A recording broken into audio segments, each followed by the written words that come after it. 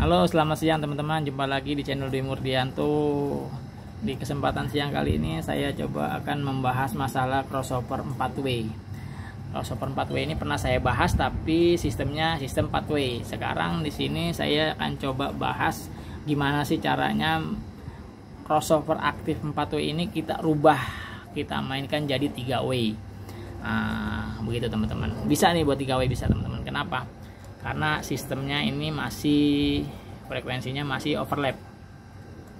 Hmm, bagaimana sih caranya bikin pathway jadi 3W ini tidak harus crossover debek ya teman-teman. Ini debek nih. Bisa asli atau Jeta Pro atau lain-lain lah. Yang pasti yang crossovernya itu woofernya dua nih. Di woofer nih woofer. Dia biasanya double sub. Nah ini bisa kita buat main 3 way caranya seperti apa. Nah seperti itu. Pertama-tama ini lokat dulu aja kita pencet. Kita batasi frekuensi bawahnya agar mulai dari 30 Hz nah, lalu nah, yang kedua itu ini kan woofernya kita tutup teman-teman. Ini kan tidak tidak kita gunakan. Lah frekuensinya kita tutup juga agar nah, kita mulainya itu 30 ini kalau mentoknya tulisan 50 tapi realnya berapa saya nggak tahu. Nah, harus di RTA harus di pakai smart life atau dibunyikan dibunyikan pun kayaknya lebih bagus smart life sih. Kalau di eh, smart life kan pasti. Kalau dibunyikan tuh nggak pasti frekuensinya. Yang pasti uh, dia sudah di bawah 50 Hz lalu ini berarti tidak difungsikan nah ini bukan uh, ini bukan tidak difungsikan teman-teman. Tapi frekuensinya diturunkan serendah mungkin.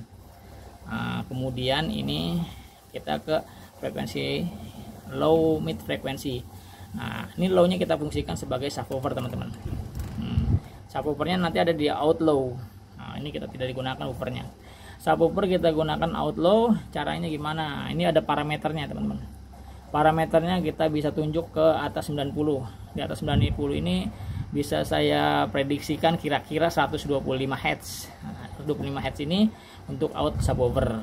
Nah, lalu, nah yang kemudian itu yang menariknya itu yang keduanya ini Nah, keduanya ini midnya ini ada yang low mid, ada juga yang mid high. Ada yang low low murni ya. Low murni, ada juga yang mid high. Nah, tergantung kita mau bikin low murni, low mid atau mid high ini ya untuk frekuensi yang ini. Tapi kalau dari uh, kita berbasic dari sininya low-nya kita buat subwoofer. Nah, low-nya ini kan jadi subwoofer. Nah, ini sumpama nih, sumpama midnya ini kita buat low. Nah, berarti frekuensi yang ini parameternya kita mentokin ke bawah kiri. Nah, di sini terdapat 480. Jadi frekuensi dari eh, mana tadi? Ini 125 kira-kira 125 sampai ke 480 nah ini berarti jadi outlaw. Tulisannya aja mid makanya kita tidak bisa berpatokan pada apa yang tertera apa yang tertulis. Tapi kita berpatokan pada parameter yang kita tuju. Seperti ini nih 480 nah berarti out mid ini jadi outlaw high-nya jadi out mid high karena di sini sisanya dari parameter ini. Uh, sisa frekuensinya tinggal mid high uh, lalu bagaimana kalau kita mau bikin uh, ini jadi low mid mas? Mas saya tengahnya mau pakainya low mid. Bukan mid high uh, bukan low doang low murni. Nanti ada di konten saya sebelumnya tuh apa sih low low murni dengan low mid nah, ataupun mid high itu beda sekali tidak sama beda frekuensi. Nah lalu ini kita buat nah, low mid. Ini kan tadi low murni karena dari 125 ke 480 itu frekuensinya low. Sekarang kita kasih mid. Jadi low mid. Frekuensinya jadi low mid. Nah, penentuannya gitu dari mana sih 3W ini? Dari susunannya. Nah, susunan kita susunan box kita. Nah, bagaimana kita menyusunnya? Nah, bagaimana kita menatanya kan? Penataan itu dari subwoofer low mid high nya itu harus kita pahami dulu. Ada di konten saya sebelumnya ada itu malah viewernya sedikit padahal itu paling vital itu seperti paling dasar.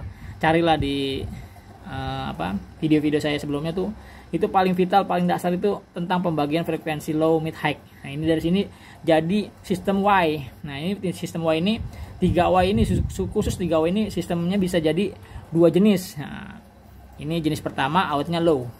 Lalu jenis kedua outnya jadi low mid ini. Yang mid ini jadi low mid. Nah, frekuensi jadi dirubah seperti ini teman-teman. Nah sam sampai 2,3 kHz jadi ini low mid. Nah ini sisanya high. Seperti itu. Tadi ini low doang. Nah sekarang jadi low mid. Ini tetap subwoofer.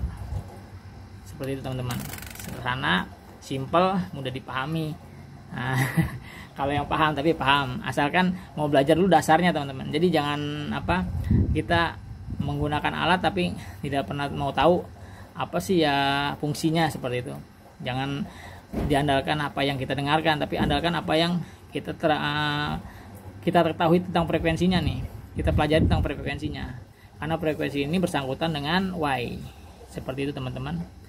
Kurang lebihnya kayaknya sudah deh. Sudah lah itu sudah sudah sudah mudah itu dipahaminya. Nah, seperti itu teman-teman. Semoga bisa bermanfaat nah, apabila ada pertanyaan silahkan bertanya di kolom komentar selamat siang Terima kasih sudah menonton teman-teman.